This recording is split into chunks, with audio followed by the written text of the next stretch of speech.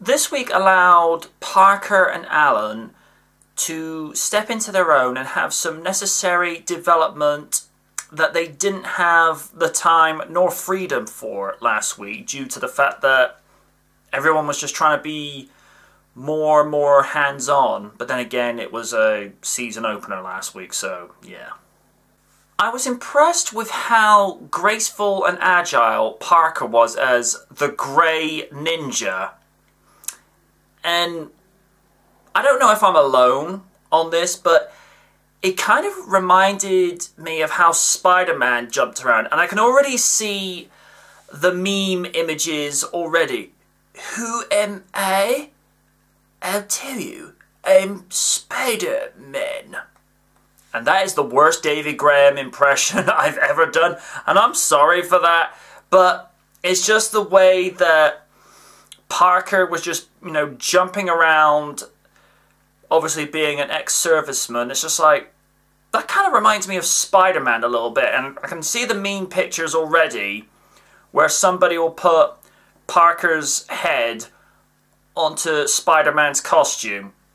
It was extremely rare back in the day when Thunderbird 3 had this kind of focus in an episode, and to see it heavily involved in this story, along with giving Alan the spotlight to grow as a character, was really rewarding because Thunderbird 3 was not acting as a side extra or almost as a secondary piece to the story.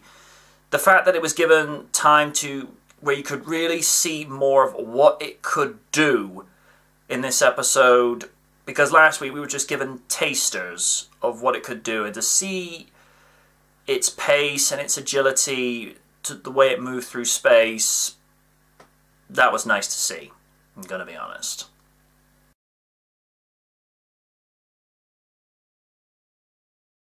Rasmus, Thomas, and David just stole the show with their performances this week.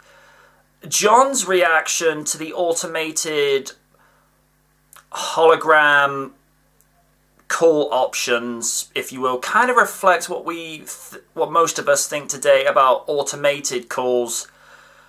Whenever we have to call into these, like if you know you're calling into your cable operator or a cable service provider and you've got to go through these list of options. His face kind of is like, yeah, we've been there, dude. We know exactly what you're thinking with that. It's like, we don't enjoy this either. I like the fact that John was so hands-on this week. I mean, he was he was hands-on last week with direct directing the calls and the operation, but the fact that he was directing everything this week and really getting involved with all the fine details. He's basically a younger version of his father, but in a much more high-tech environment, and I, I really enjoyed that. Parker being the character he is, with how he infiltrated the archives and then keeping the main officer's attention whilst Penelope got the info that the team needed, was, was just awesome. David is still the man.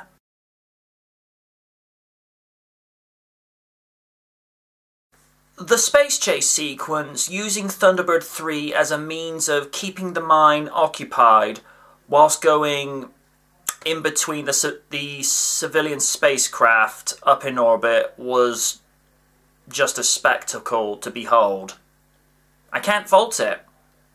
Really can't.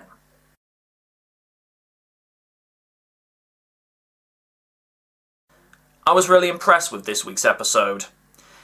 After the double helping of what we can expect from the new generation of Thunderbirds, this week gave decent character building for those involved. Until next week, my fellow International Rescue Cadets, good night from the Knight.